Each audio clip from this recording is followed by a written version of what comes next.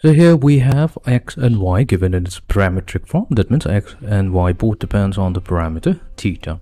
So using this information, we need to obtain the derivative of y with respect to x. So let's begin with whatever we're provided with.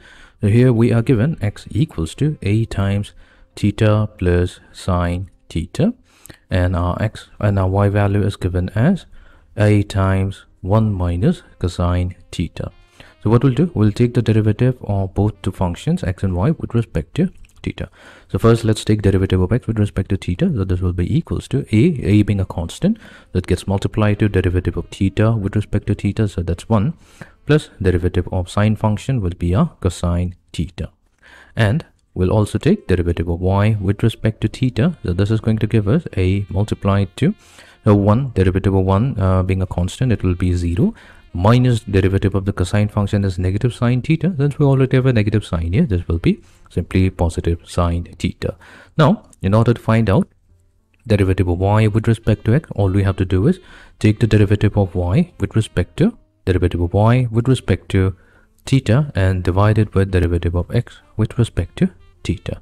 So derivative of y with respect to theta that's a o times sine theta divided by a times 1 plus cosine theta. So that means derivative of y with respect to x is given by sine theta. So here a and a gets factored out from both the numerator and denominator. We have sine theta over 1 plus cosine theta.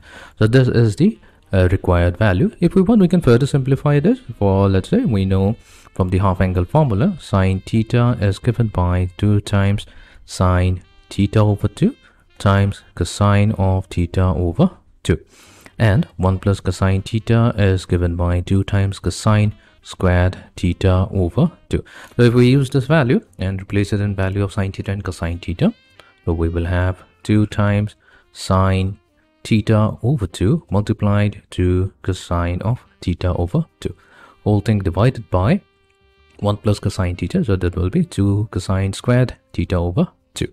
So the ratio, so here 2 and 2 gets cancelled away, 1 cosine theta over 2 from both the numerator and denominator goes away. We are left with sine over cosine and that's tangent theta over 2. So this, uh, uh, both the two values, sine theta over 1 plus cosine theta or we can also take tangent of theta over 2. This will be the value of derivative of y with respect to x and clearly we are also obtaining our derivative in terms of our parameter theta.